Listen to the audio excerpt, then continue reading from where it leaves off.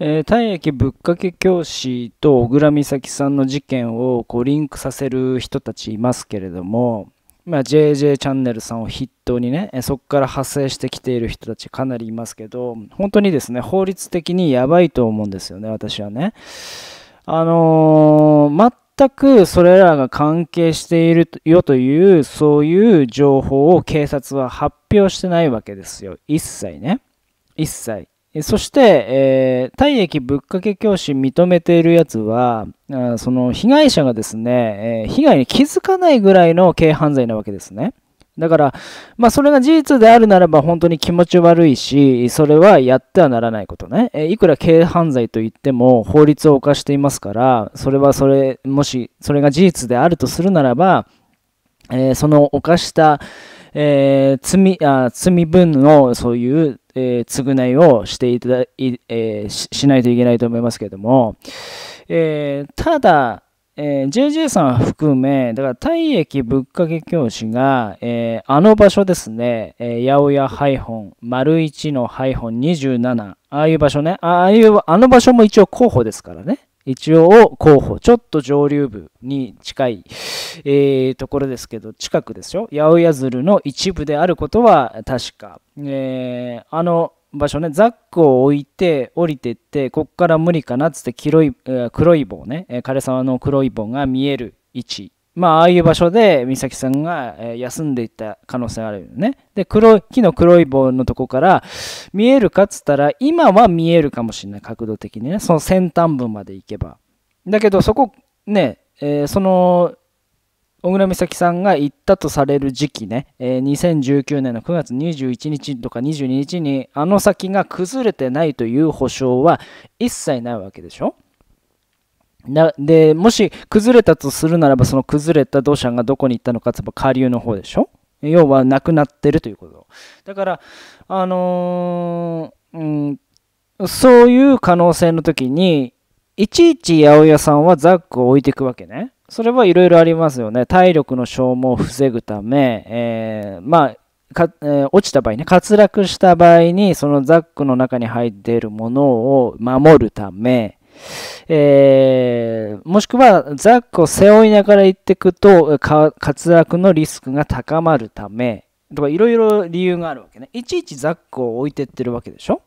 えー、動画をご覧になればわかると思うんですけど、えー、じゃあその JJ さん含め体液ぶっかけ教師が関係してるという人たちは、え、そこをね 25kg のものを背負ってそこを降りていってたということでしょ。あの場所までアプローチしていかないと、不自然、要は科学捜査上バレちゃうので、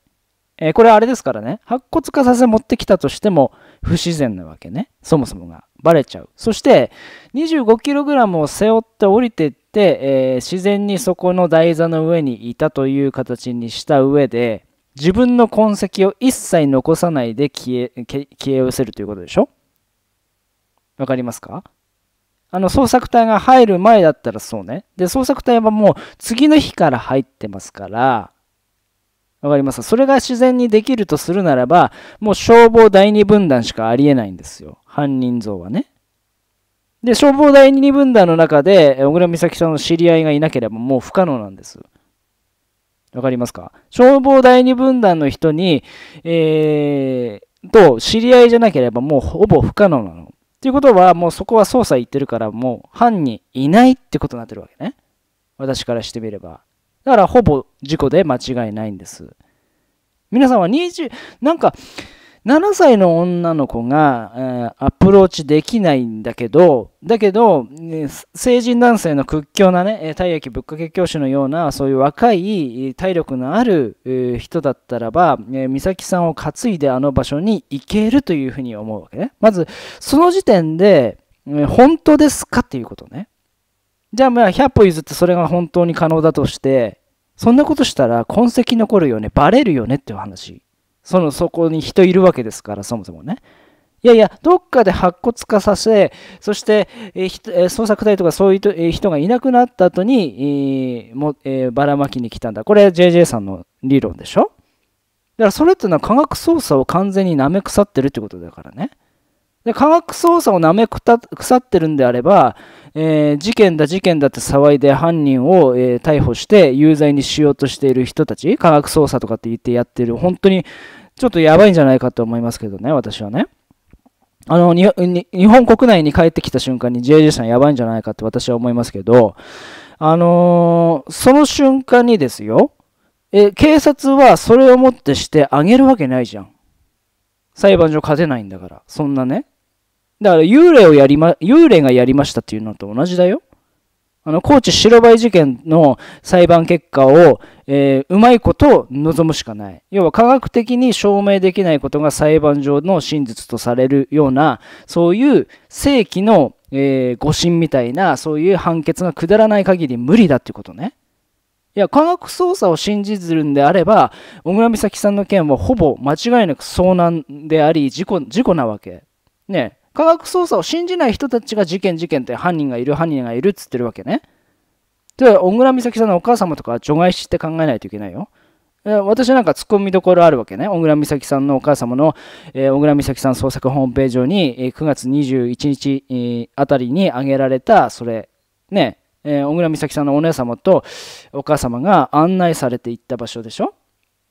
ね、そのその場所に案内されて行けるんですよねって。でも美咲は無理って言ってるわけでしょ？じゃあ美咲は無理であれば、えー、美咲と、えー、を連れてきた人がいる。一緒に来たかもしくはそのご遺体にしてから運んだ人がいるってことでしょ？それは可能って言ってるわけでしょ？でそれは可能っていうんであればそれは、えー、それは科学的に操作すれば分かるはず。合理的な判断のもとに山梨県警がつかむはずなのね。わかりますか？でそれがそれを無理だって私は言ってるの。そもそもは。その痕跡を残さずして、えその場所に3年間で膨大な量の捜査情報がある中それを全部かいくぐって完全犯罪のようにやるのが無理だと言ってるわけね。それが無理じゃないですよっつってるのがあの次元派の人たちでしょ？でご家族はまず除外して考えないといけない。これはご遺族はね。ご遺族は除外して考えないといけない。その中で筆頭が JJ さんだでしょ？じゃそのその理屈にのっとっていったならばもし仮にできたとしても裁判上で有罪にできないよと。有罪にできるとするならば高知白バイ事件のように科学的には証明できない証拠物が裁判上採用されそしてそいつが有罪だと。小倉美咲さんをやりましたね。っていうのが、えー、そういう正規の誤審みたいなのがあると初めて犯人が有罪であるってことだよね。だから、今のところ、もし仮に0.0001%ぐらいの確率だと思いますけども、体液、物価教師がもしその小倉美咲さんの件と関係あるんであれば、そしてそれが有罪になるとするんであれば、私はもう正規の誤審だと思います。ね。まあ、そんなことはないというふうに私は思ってるから、ほぼゼロ。0%全く関係ない全く関係ない人の